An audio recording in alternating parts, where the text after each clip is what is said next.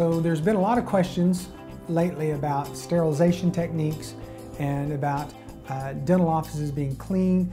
You know, in the past and present, dentistry is one of the most trusted professions there are.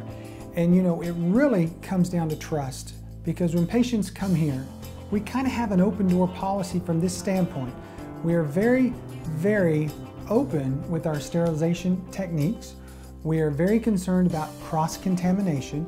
I am concerned about the health of my employees and the health and well-being of my patients. And worry, being worried about cross-contamination, we are always open to showing our patients everything.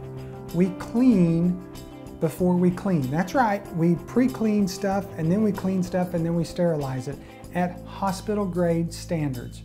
And when patients come in and they ask questions about, about our office, number one, you should feel comfortable asking those tough questions because I encourage them. I want patients to feel completely comfortable. So when you come here, we're going to give you a tour of the office and we're going to show you everything about our practice, including our sterilization procedures, our sterilization room, and how we make this a very, very safe place. So when you come here as a patient, I want your fears to be put at ease. I want you to know that you're going to be treated very, very greatly. We're going to listen to your needs and you're going to be treated in an environment that is safe and that is clean.